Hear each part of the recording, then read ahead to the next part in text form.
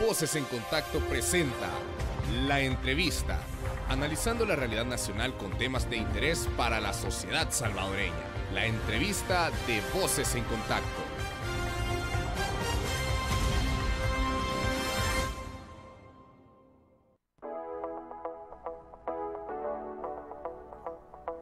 Gracias por continuar en sintonía de Voces en Contacto. Le damos la bienvenida a la entrevista. Ya le contábamos al inicio, hoy vamos a hablar sobre la más reciente encuesta de la UCA presentada la semana pasada y datos Em, que también se han presentado, que se incluyen en este sondeo de opinión realizado por la UCA y para eso damos la más cordial bienvenida a Omar Serrano, vicerrector de Proyección Social. Omar, ¿cómo está? Buenas Muy bien, buenas tardes, buenas tardes Norma, buenas tardes a toda la gente que nos escucha a través de las emisoras afiliadas a ARPA, también los que nos escuchan a través de la, de la web. ¿verdad? Es un gusto estar aquí Tenía rato ya de no Ya tenía días de no acompañarnos. Pero, aquí estamos. y también saludamos a quienes ya nos ven en nuestra transmisión en Facebook Live. Recuerde que también ahí estamos, estamos en las diferentes plataformas digitales. Omar, uno de los datos eh, que eh, se destaca o se señala en esta encuesta, producto de eh, la consulta a, a la población, es que la nota que obtiene el presidente de la República, Nayib Bukele, eh, ha bajado, digamos no es tanto, pero sí eh, registra una reducción, sin embargo los niveles de aceptación del mandatario pues se mantienen altos. Hablemos un poco para iniciar eh, sobre este, este dato y em, respecto al trabajo del gobierno, ¿qué más dice la gente? Bueno, efectivamente la nota de los primeros 100 días en nuestra encuesta fue de 8.37, la nota más alta que un presidente en ese momento eh, le ha adjudicado la población. Y no es tan poco, porque son cinco décimas, ahora fue siete, ocho. O sea, no es tan poco lo que ha bajado, sin embargo, es una nota buena, ¿verdad? En, relación a otros, mandatarios eh, eh, que hemos evaluado, o que la población ha evaluado en nuestras encuestas a estas alturas, es alta, ¿verdad? Este, pero hay que decir que bajó. Eh, la pregunta que nos hicimos nosotros primero, bueno, ¿y por qué bajó si sale tan bien evaluado? este, y eh, intentando cruzar variables porque nuestra tarea es tomarle la voz a la gente, pero interpretar también qué quiere decir la gente. Y eh, nos dimos a la tarea y descubrimos que los que son más críticos del gobierno son, mientras más alto sea el nivel socioeconómico, la nota disminuye en los sectores urbanos, que sale bien evaluado, pero también son más críticos del actual gobierno y en concreto del presidente, y eh, también eh, la gente que dice que simpatiza con el FMLN. Son los que hacen bajar la nota, ¿verdad? Este, creo que, eh, como dije, es una baja significativa, pero sigue siendo alta, ¿verdad? El nivel de, de opiniones favorables para el desempeño del actual gobierno y concretamente del presidente de la República sigue siendo alto. Hablemos también sobre otra de las eh, de los resultados, porque eh, una de las cosas que se señalaba en la interpretación es que la percepción general del país eh, y del nuevo gobierno es positiva, pero cuando ya se va a preguntar cosas más específicas como el tema de la economía, la seguridad, ahí cambia la percepción. Hablemos un poco sobre estos datos. Yo, yo lo resumía en la conferencia de prensa que dimos diciendo lo siguiente. Este, hay un cambio de, de percepción de la gente, es decir, antes preguntábamos, ¿cómo cree usted que va a estar el año próximo? ¿Cómo cree que va a estar la política? ¿Cómo cree que...? Y la mayoría de opiniones eran negativas, ¿verdad? Había como un escepticismo, un pesimismo. Ahora hay un optimismo. O sea, nosotros le preguntamos a la gente, ¿verdad? Este, el país, ¿cómo va a estar económicamente hablando en el 2020? Siete cada diez dicen que va a estar mejor, ¿verdad? Eh, 58.3% creen que políticamente hablando, va a estar mejor el país. 57.4% creen que la economía familiar estará mejor este año y 65 de cada 100 encuestados piensan que la delincuencia va a disminuir. Ahora, yo afirmé que hay un cambio de la percepción, pero solo es cambio de la percepción, no de la realidad. Porque la gente, a mi juicio, y quiero creerlo, no cierra los ojos a la realidad. Eh, porque cuando uno pregunta, fíjense que la mitad de la población, o más de la mitad de la población, piensa que las cosas no han cambiado. Es decir, me explico, el 65.4% creen que la situación económica sigue igual. 72.2% dicen que la pobreza no ha mejorado, que sigue igual.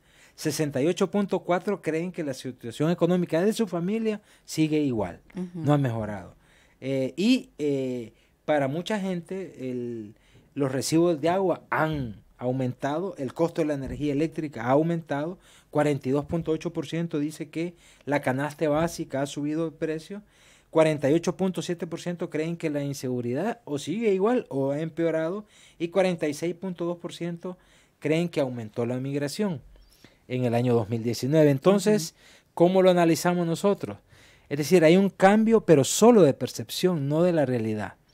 ¿Qué quiere decir esto? Que la gente es optimista, está esperanzada, digámoslo en este momento, por lo que piensan que puede hacer este gobierno, no por lo que ya hizo. Así lo resumiría yo.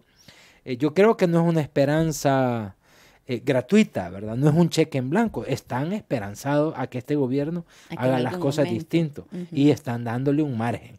Porque no hay una correlación todavía, una coherencia entre lo que se dice y lo que está viviendo la gente. No hay todavía, pero la gente espera que sí la haya. Entonces, esto está dentro del margen de espera ¿verdad? Eh, acuérdense de dónde venimos, del cansancio de la gente, de la frustración de la gente, de promesas incumplidas, de cambios que no se realizaron como la gente esperaba. Que se expresaron. ¿Verdad? Y ahora esperan que sí haya. Entonces, hay un momento de optimismo colectivo, me parece a mí que está fundado más en lo que se piensa que va a suceder y no en lo que ya sucedió. ¿Y qué factores cree que están contribuyendo a, que esa percepción eh, se mantenga tan positiva y esperanzada? Según nuestra encuesta hay tres factores. Y yo agregaría un cuarto que eh, el primero es a lo que cree o a la que la población considera que se está haciendo en materia de seguridad. Ese es el primer factor. Fíjese que en la encuesta 42.6% creen que ha sido buena la labor. En segundo lugar, a la figura del presidente. Es decir, ya sabemos que es un tipo carismático, ¿verdad? Que se presenta como distinto a los anteriores. Y en tercer lugar, creen que a la buena gestión que hace el gobierno. Los tres factores pueden adjudicársele al presidente, me parece a mí. Por eso yo afirmo que quien capitaliza esta opinión favorable es la persona del presidente.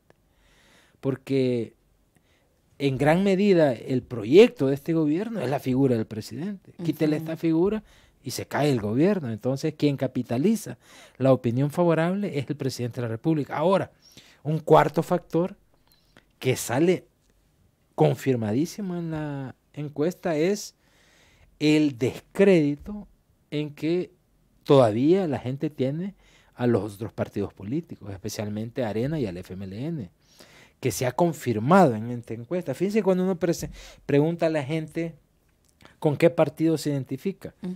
76.1% dice que con ninguno.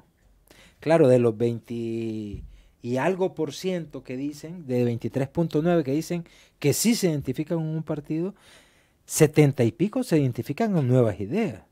¿Verdad? Entonces hay una apatía hacia los partidos políticos y lo que ha pasado después de publicar la encuesta, el escándalo de Cristina López, el nepotismo en la asamblea, este, yo creo que eso eh, hay que, tiene que salir, si hay corrupción tiene que salir, pero beneficia la percepción que tiene eh, del presidente. Entonces, eh, este descrédito que, en el que están los partidos políticos, creo que es el cuarto factor que hace que se valore bien. O sea, es un poquito lo que pasó en la encuesta con el segundo gobierno del FMLN. La gente eh, votó por el frente más porque no quería que volviera Arena al poder, ¿verdad? Eso salía en la encuesta, más que porque querían que, siguiera. Había gente que no quería que siguiera, pero había más gente que no querían que volviera Arena. Y eran las dos opciones. Esa situación a la que llegó el país propició que surgiera esta persona que se presentó como distinta y votaran masivamente por ella, ¿verdad? Esta, esta situación. Vamos a hacer rápidamente un corte comercial en este espacio de entrevista, amigos y amigas. Al volver, vamos a seguir conversando con Omar Serrano, vicerrector de Proyección Social de la UCA. Escuchas tu nueva radio revista informativa, Voces en Contacto. Este año vencen más de 1.7 millones de DUIs. ¿Tu DUI venció?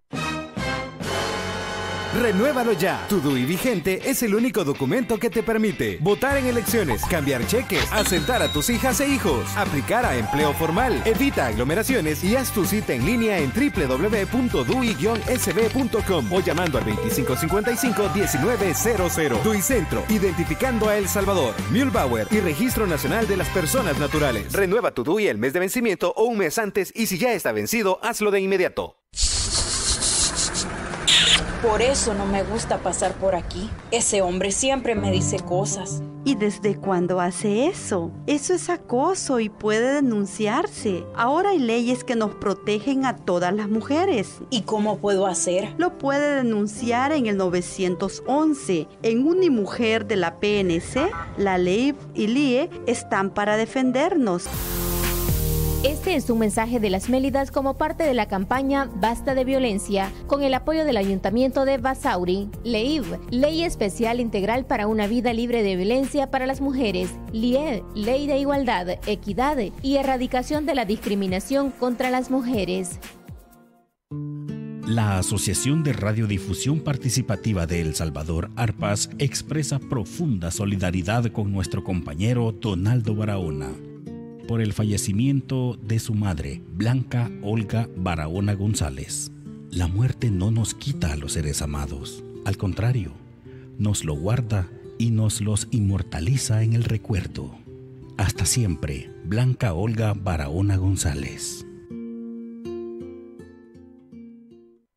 La mina transfronteriza Cerro Blanco lleva 12 años lanzando 68 barriles de agua caliente o geotermal por día a quebradas conectadas al río Ostúa. Pretende incrementar a 4.000 galones por minuto a finales de este año. El agua geotermal tiene altos niveles de arsénico afectando la salud en Metapán Santa Ana, que ya reporta un alza de mortalidad por insuficiencia renal diabetes y enfermedades respiratorias, especialmente en mujeres rurales. No más desastres que dañen el ambiente. No más minas. Mesa Nacional frente a la minería metálica en El Salvador. Continuamos con la información desde las comunidades en Voces en Contacto. Seguimos con más en la entrevista de Voces en Contacto. Muchísimas gracias a quienes nos escuchan a través de las emisoras asociadas a ARPAS en todo el país, a quienes nos escuchan en la señal en línea arpas.org.sb y a usted que nos acompaña en la transmisión de Facebook Live. Hoy estamos conversando con Omar Serrano, vicerrector de Proyección Social de la UCA, sobre la eh, más reciente encuesta publicada por esta universidad, por su centro eh, de opinión pública sobre qué percepción tiene la población o tenía la población al cierre de 2019. Hemos hablado ya sobre algunos eh, de los datos eh, que refleja pues esta encuesta. Una de las cosas que usted decía antes de la pausa, Omar, es eh, cómo se refleja o se constata nuevamente que hay como un descontento por parte de la población eh, hacia los partidos políticos. Eh, ¿Cómo analizan también o cómo interpretan estos datos en el contexto preelectoral que tenemos ya para 2021? Porque más del 70% de la población, decía usted, ha dicho no tiene un partido no se identifica, no se identifica con un partido eh, político y es mucha de esta población la que no asiste a las urnas y es el porcentaje restante el que decide, eh, digamos, en el, en el caso de 2021, quiénes van a estar al frente de los consejos municipales y de la Asamblea Legislativa. ¿Qué implica esto? Fíjese que la gente, cuando le preguntamos si se identifica con un partido, eh, es ese, esa mayoría dice que con ninguno. Pero cuando uno cruza las variables, ¿quiénes opinan más favorablemente pues, sobre este gobierno y sobre el presidente? Los que, por supuesto, dicen que nuevas ideas que, y los que dicen que con ninguno. tienen una opinión favorable. O sea que eso de no identificarse con ningún partido es relativo. No es tan cierto. Es decir, no, no, no se identifiquen, no se consideran parte, pero apoyan la gestión. Curiosamente, la gente que dijo simpatizar con Arena opina favorablemente sobre este gobierno, ¿verdad? Y los otros partidos que salen con un porcentaje mínimo, también lo, los que no lo apoyan son los que dicen simpatizar con el FMLN. Son los, los más críticos en su valoración. Ahora, alguien me hacía la pregunta en la, en la conferencia de prensa, ¿qué significa esto? Digamos, dicho en términos políticos y, dicho sin tapujos es, significa capital político que se puede traducir en, votos, en el 2021. Eh, ¿Cuál es la estrategia de este gobierno? Este gobierno, todo lo que pase en este 2020, y se lo digo claramente a todos los que nos están escuchando o nos están viendo, hay que verlo con lentes electorales. Todo lo que va a suceder este 2020 hay que verlo con lentes electorales. Porque la misión de este gobierno es copar la Asamblea Legislativa, ganar mayoría para tener la vía libre. Eso es lo que, para eso va a arremeter eh, contra el FMLN, quieren rematarlo. Este, probablemente todo lo que estamos viendo ahorita, escándalo que se dice de corrupción y todo eso es parte de esta dinámica, ¿verdad? Este, también va a querer pescar en aguas de arena. Cuando uno analiza la, votación de 2019, el partido que más redujo su caudal electoral fue el FMLN, considerablemente, también Arena pero en mucha menor medida. El que salió trasquilado de las elecciones de 2019 fue el FMLN. Entonces, el presidente y su partido quieren seguir pescando esas aguas, pero también van a querer seguir pescando de otras aguas. Todo esto que está pasando alrededor del PCN, que el PCN no nos debe extrañar, ¿verdad? Es un partido sin ideología que nació eh, para, como partido de los gobiernos militares y sigue subsistiendo por, por cosas no digo del destino, por cosas eh, electorales y políticas, ¿verdad? Ese, ese, o sea, entran en descrédito y lo que hacen, a mi juicio, es potenciar esta supuesta nueva alternativa, ¿verdad? Eh, yo lo que creo, Norma, y la gente que nos escucha y nos ve, si yo pudiera resumir la encuesta en un par de palabras, diría lo siguiente. ¿Qué refleja la gente que ha opinado en la encuesta? Lo siguiente, primero, un poder ejecutivo muy bien evaluado, especialmente el presidente. Destacándolo a Una oposición política muy deteriorada y una institucionalidad, y esto es lo grave, deslegitimada por la población. Cuando uno pregunta por niveles de confianza en la institucionalidad, ¿quiénes salen a la cabeza? ¿O quiénes salen, digamos, bien evaluados por la gente? En primer lugar, el presidente. Ahí entra la Fuerza Armada, la Policía Nacional Civil, el gobierno central, las iglesias evangélicas, la iglesia católica y medios de comunicación. Ahora, ¿quiénes son los que menos confianza tiene la población? Esto también es costumbre. A la base de la desconfianza están los partidos políticos. En, en, segundo lugar, de la desconfianza está la Asamblea Legislativa. En tercer lugar, están los empresarios. Pero también reprobados salen las instituciones que son pilares de un sistema democrático. Sale reprobada, la gente no confía ni en la Corte Suprema de Justicia, ni en la Procuraduría General de la República, ni en el Tribunal Supremo Electoral, ni en la Procuraduría para la Defensa de Derechos Humanos, ni en la Corte de Cuentas. Es decir, las instituciones que ayudan a que funcione un sistema democrático han perdido credibilidad en la población. ¿Qué nos pinta esto? Y para mí esto es el mayor peligro lo poco que hemos avanzado en institucionalidades de los acuerdos de paz, ahora que vamos a cumplir pasado mañana 28, años. si algo ha, avanzado el país en estos 28 años ha sido en eh, la instauración de libertades democráticas, libertades políticas. Creo yo, hace falta mucho que caminar, por supuesto. Hace falta, pero se ha avanzado. La mejor prueba que tuvimos en el gobierno a gente que anduvo en la montaña peleando, para mí. Eso era impensable antes de la guerra y durante la guerra, por supuesto. Entonces, eso poco que hemos avanzado en institucionalidad peligra en este momento, en esta coyuntura. Y miren, a mí no me extrañaría que la gente diga, bueno, que decide el hombre. que decide el presidente, que se salte las leyes, que se salte las instituciones y decide. Eso se llama tiranía, dictadura, eh, autocratismo, lo, que ustedes quieran. Pero ese es el gran peligro. Ahorita por los niveles que la gente que hay una validación, validación social para eso, ese es el gran peligro. Ha funcionado mal el sistema de partidos y yo creo que todavía no han entendido. No han entendido todavía los mensajes de la población y este gobierno va a tener el empeño en eh, rematar a los partidos.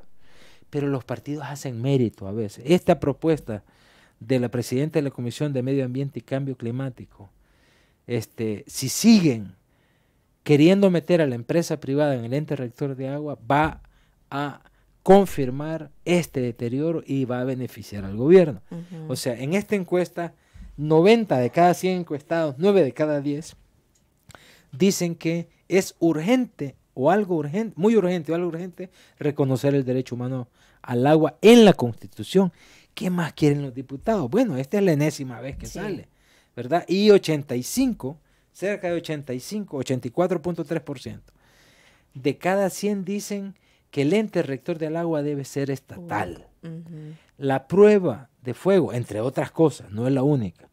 Si es cierto que quieren una ley, como dijo hoy la presidenta de la Comisión de Medio Ambiente y Cambio Climático, donde lo prioritario sea el consumo humano, el uso humano del agua, no tienen que meter a la empresa privada.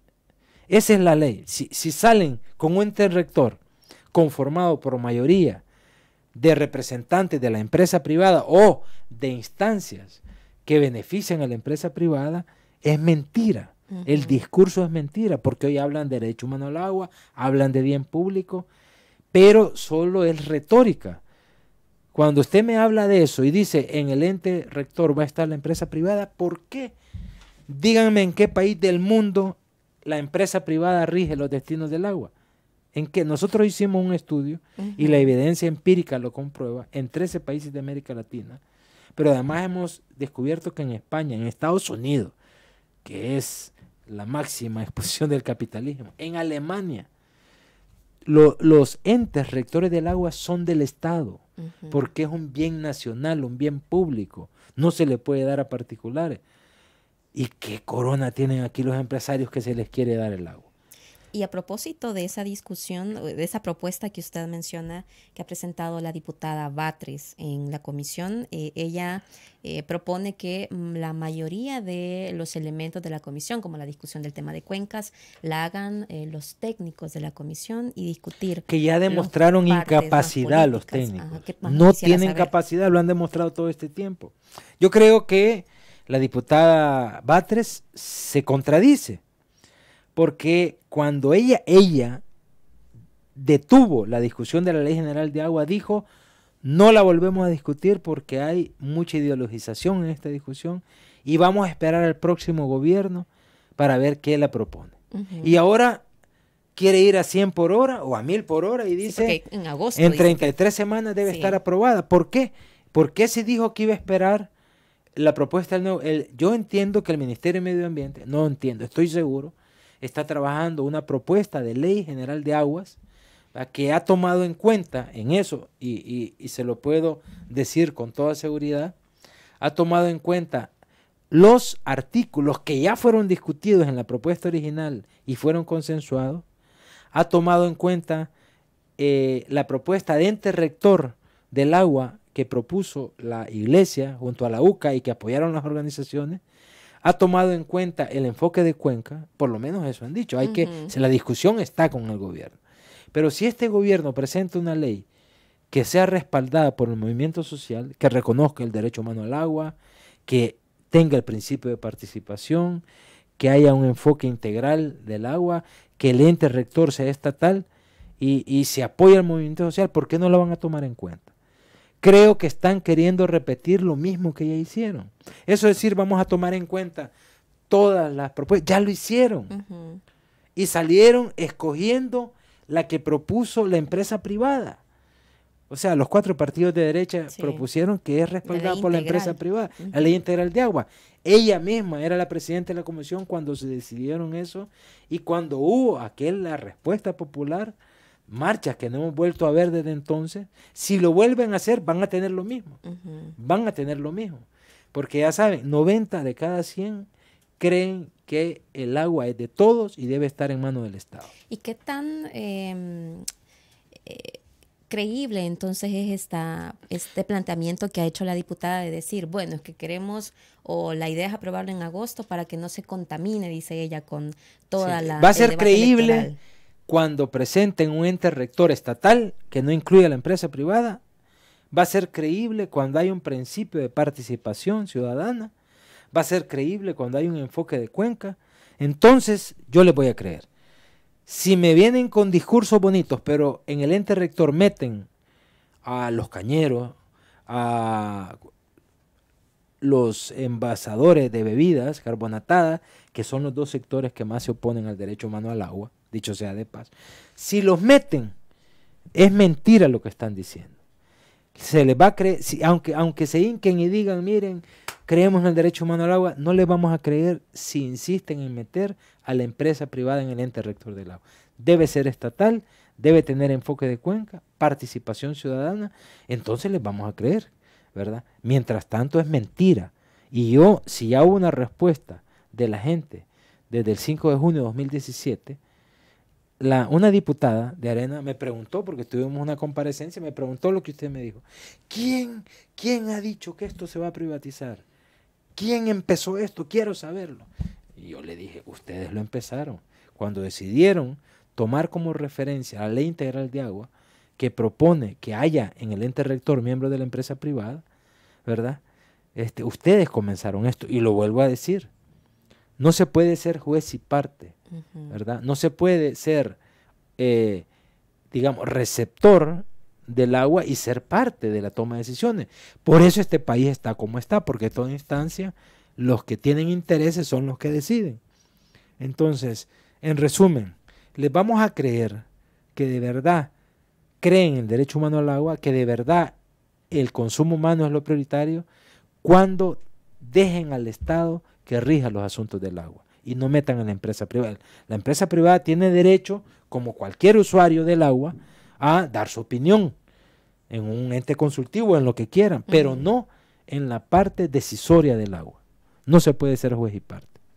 Omar, se nos ha terminado el tiempo, pero quiero agradecerle por habernos acompañado. Temas muy importantes para nuestra audiencia y para el debate que, debemos tener en nuestro país. Muchísimas gracias. Eh, yo eh, les agradezco esta invitación. Es un gusto estar aquí. Solo quiero decirle a la gente, entiendo que hay esperanza, ¿verdad?